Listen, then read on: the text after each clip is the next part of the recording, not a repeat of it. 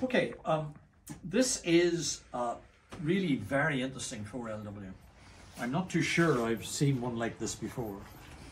It's really, really quite extraordinary. Okay, it's obviously a proper marine engine. Why? Uh, a, it's got a cast iron sump. The crankcase is aluminium, but the sump is cast iron.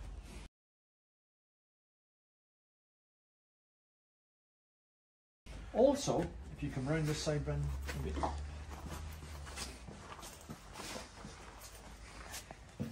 it had this integrated uh, Jabsco pump on here. So that was driven directly by the crankshaft.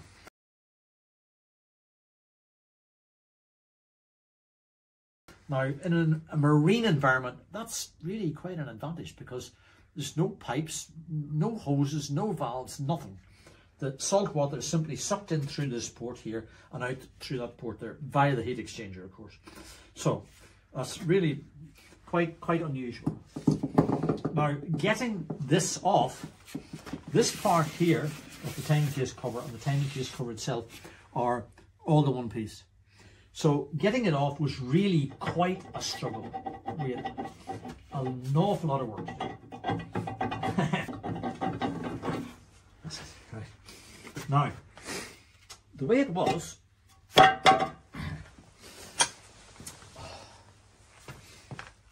this adapter was on here.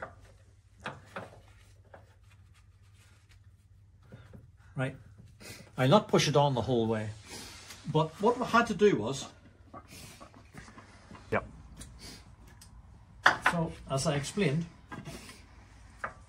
this adapter was in here like that. And that carried the drive for the pump. And it in turn come up through here. And that's where the problem was. This adapter was, because it's dissimilar metals, was really very, very tight. And the adapter also was tight on this shaft. So what we had to do was, now unfortunately because the job's already finished, I can't show you exactly, but we had to get a big nut like this and weld it in here, into the inside of this adapter here. And then we got a screw, we screwed the screw in and that pulled the whole lot off. Plus a good deal of heat and a good deal of um, swearing and cursing and jumping up and down and, and um, all sorts of hassle. But we got there eventually and this come off and then the timing case cover come off, no problem. Now, also on this engine, it had what appeared to be uh, an extended crankshaft. At first, I made the assumption that this that the crankshaft itself carried all the way through here.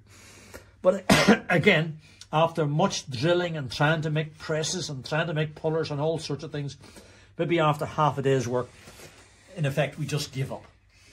And we put feeders down in here and we concluded that in fact the shaft didn't come the whole way through.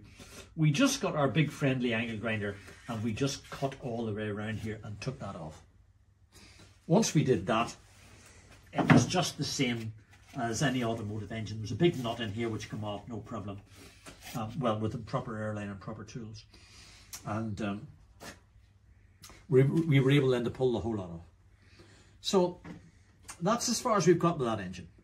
What we'll have to do now is we'll have to take out the crankshaft and measure the big ends and measure the journals and see what condition the crankshaft's in. At first sight, it appears to be not too bad. She's definitely not seized.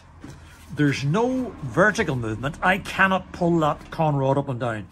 It's really quite tight and they're all the same. The camshaft uh, we greased some time ago, so it's perfect. Um, should of course get a new cam chain and so on. But all this work is wasted if the crankshaft is is out of tolerance. But there's nothing else we can do. Whether it'll all be worthwhile at the end or not, I don't know. I, I, I think it will. I hope so because it's really quite special. This, the end plate you may have